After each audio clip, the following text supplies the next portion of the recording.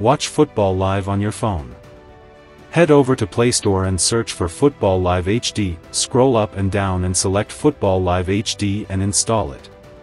After installing, open the app. Scroll down and select Football Live TV HD and click on just click on it. Click on it.